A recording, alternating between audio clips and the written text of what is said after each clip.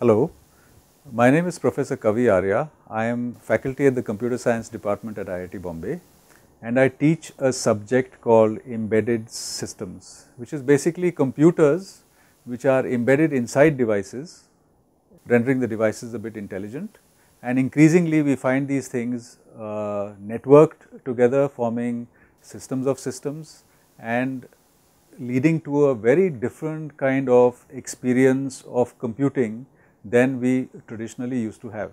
So, what this course intends to do is that it intends to sensitize the participant to the kind of approach which is needed to understand these kind of systems and points them out to what is interesting about these systems and how to acquire the skills, what skills and how to acquire the skills to build these kind of systems. And the increasing emphasis is on project based learning of these skills. So, let us go on to this. This is a slide that indicates a number of domains like the microscope shows say uh, biology, pathology, the handcuffs show forensic applications, the tank shows military applications and so on. And uh, a favorite question I have to students is which of these domains do not have an embedded system in it. So, typically you have students saying the cycle for instance which is down here right or the scarecrow which represents agriculture. But we will have you know that agriculture is, is an area which is increasingly seeing the advent of robotics especially abroad. If you look at the John Deere website you will see a lot of, ag of agricultural equipment have got embedded systems and robotics integrated into them. So, from the entire life cycle of a plant from seeding crops to harvesting to maintenance of crops, taking care of them, crop care and so on right up to post harvest processing and stuff like that is handled by robots. And this is an increasingly important skill even for us because we are looking for instance at IIT Bombay on urban agriculture where we want to grow plants on, on rooftops of buildings in a very distributed way and robots and embedded systems are extremely useful to bring down the cost of uh, these kind of installations to reduce the manpower that we need to manage them because in uh, cities manpower is very expensive and how to maximize the output of your produce. So, the, there has been a shift from looking at just computers which are standalone computers to embedded systems to networked systems on chip to now systems of systems there is a complete change in device interaction, there is a growing number of critical applications and this is leading us to explore systems engineering outlook and look at multidisciplinary skilling of our students. So, the plan is in this course or at least in this short presentation to give you a flavor of embedded systems, show you some examples, talk a little bit about microcontroller based programming, talk to you a little bit about real time support for embedded systems and to new approaches for building embedded software like uh, model based design and new languages like Esterel and so on. I shall just mention these now in passing where these things are gone into more detail on the course, but the most important thing that we have with us is the project. Typically midsems and endsems are about 40 percent, quizzes and assignments are about 20 percent and 40 percent of the course is a project. And this project is very important because it is through project based learning that you actually acquire the skills. And this came about some years ago when we tried to teach embedded systems through the distance education program. It did not work too well because we realized that students need something in their hands to program and that is where we did devise this, but I will speak about this a few slides down also.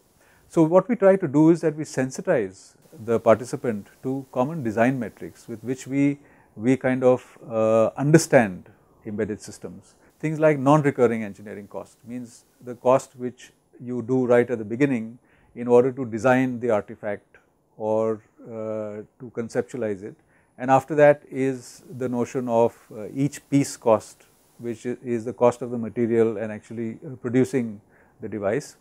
Uh, that leads to a unit cost where chips have a very high NRE cost almost millions of dollars while the unit cost is very low. While if you take off the shelf processors and build a system your non-recurring engineering cost is low but there is a chance that your unit cost might be a little bit higher. Size is very important in terms of the amount of memory or the amount of gates that that's the compute power that your uh, device needs. Performance, execution time, power, the more fast, the more big is your system, the more energy it requires and the less will be your battery life. So, you have to keep this in mind when devising your systems. Time to prototype has become extremely important because if you do not push your device or your prototype out in time nowadays, often your design cycle times are like 6 months as opposed to a few years uh, some time ago, you will miss the opportunity to have sales. Time to market is important. Maintainability has become extremely important, right. To retain, to increase the lifetime of your device in the marketplace that it should be able to be upgraded on site. And correctness obviously is important and safety, right, the probability that a system will not cause harm. So typically classical embedded systems were single functional like pagers and so on. They were tightly constrained as they are now also in terms of cost and size and performance and all that. And typically they were reactive and real time like the cruise controller in a car. Now however, these things are much more complex. You have systems of systems where large numbers of autonomous systems which are independent can work together because they are networked and give you a certain experience. And so the whole characteristics of embedded systems versus SOS as we will refer to them here have changed. For instance, in embedded systems the scope was fixed, in SOS it is unknown, the requirements for instance were fixed in, in embedded systems while now they might be changing requirements. Uh, the faults could be exceptional in a typical embedded system, but now faults have to be considered as part of normal working and we have to design how faults should be dealt with as a normal case and so on. So, the new sorts of systems that we are dealing with show that many classical assumptions of systems do not really work, right. So, these are some of the skills that we want to sensitize the participant of this course to and the sorts of developments that we should be prepared to address in the next few years are things like your hardware software costs are dropping. So, where you might not have considered applying an embedded system might be ripe for exploitation now. There has been a breakthrough in cognitive computing where you have new and newer and newer sensors which can sense things in a way that you had never anticipated before. Security has become very important and interconnection, internet of things, right. So, think of this intelligence in this cloud which is sensing the environment through sensors which are distributed, which is then computing a response to it and affecting the process or the environment or whatever it is in some way. So, this is relevant in medical computing, manufacturing, smart homes, smart grid, smart what have you. So, there is an IDC report which says that in 2020 you shall have 20 billion intelligent devices which means almost a few embedded systems per human being on this planet. So, what are the skills that we need and how do we acquire these skills? So, some of these questions have been answered by us and we will share them with you. So, we feel that project based learning is very important where you learn by doing. So, what we have here is the eYantra robot, I will come to that in a moment. This is a robotic research platform which is shared with students who work on a laptop and learn all the skills, skills that they need in a lab. And the most important thing is a project. So, we have a project called eYantra which is based out of IIT Bombay where we have taken the gyan that we, we have acquired and we are sharing it with engineering colleges throughout the country where what we are trying to do is trying to trigger a robotic revolution by empowering students, teachers and encouraging entrepreneurship. And how do we do that?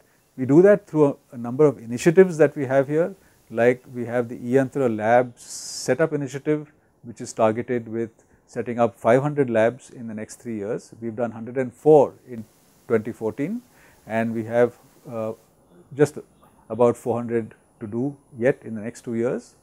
Um, the robotics competition where we take a real world problem, we model it as a game with a rule book and we invite students to solve the problem using a robot that we give them. So, this is where we are unique in the sense that we have a small robot, we gift it to a selected student team of 4 students and we give them the knowledge of how to program this robot in a very distributed way through a DVD and we lead them through the process if you like of solving the problem.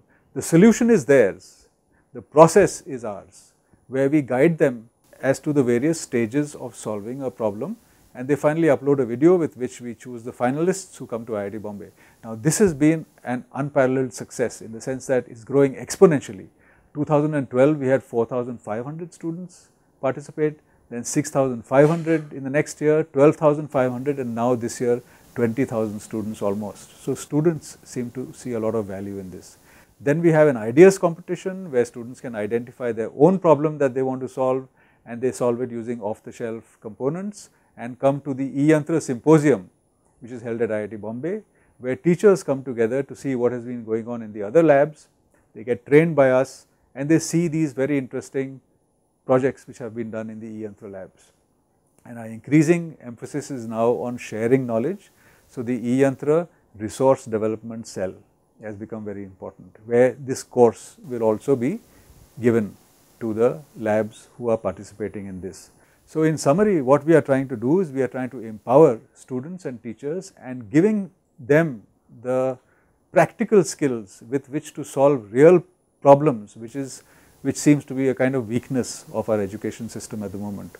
And this is the way we do it. We have a, a eYantra robot which costs about 25,000 rupees which incorporates 5 years of our experience of teaching. It's got various sensors like for instance the uh, proximity sensors here which can sense up to one and a half meters with millimeter accuracy. It has white line sensor at the bottom, it can take various processors like Atmega 2560, ARM7 and so on and 8051 also and more important than all this is that it has got a lot of extensive software support and I will play you a video here which sums up what all you can learn using this robot in a competition.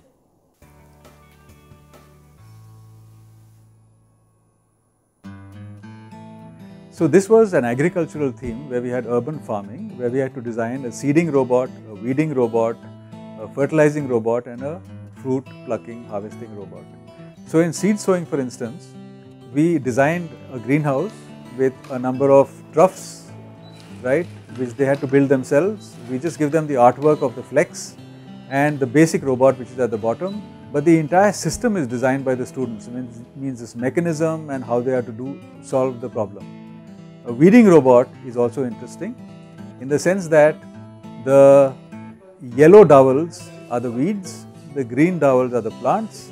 So you have to devise a mechanism using a robot where you where you sense and uproot only the weeds and you deposit them at a designated spot. Now you can do it one by one or, or you can do it like this uh, clever team has done, build a container which they can selectively unload, which they do so in a moment, there it is and solve the problem very effectively and very fast. Fertilizing robot is programmed to fertilize plants in a given sequence. So these are the plants.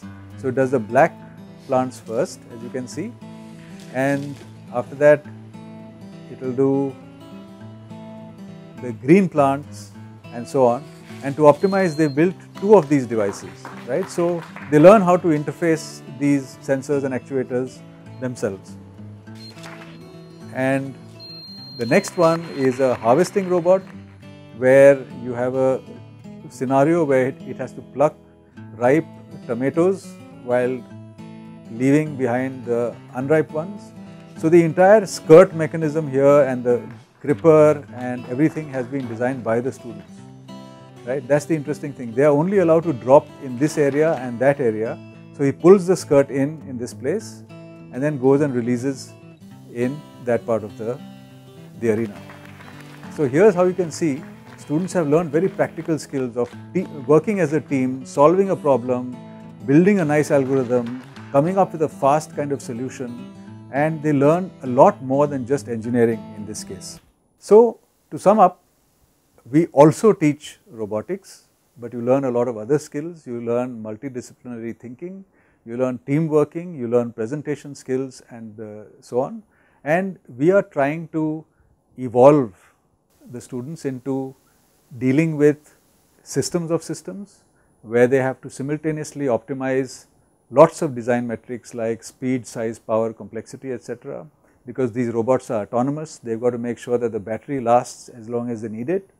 They need to become renaissance engineers with a very holistic view of the design process who should be multidisciplinary. The teams are typically one electrical engineer, one computer science guy, one guy from mechanical engineering and so on. And the skills range from things like domain specific skills to hardware, software, formal methods and what have you. And they have also to learn new system building tools, right, which give you a unified view of hardware and software co-design. And typically we find that design environments allow you to focus at the model based design level at a higher level of abstraction. So typically we find that the boundary between what used to traditionally be hardware and software nowadays has blurred and where systems engineering and design thinking is a paramount skill.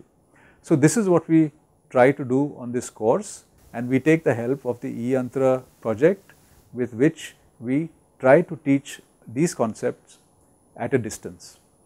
So thank you very much for listening and do look at the eYantra website which will give you an idea of what we are trying to do on the project itself and we hope that you will take the course when it comes out. Thank you very much. Jai Hind.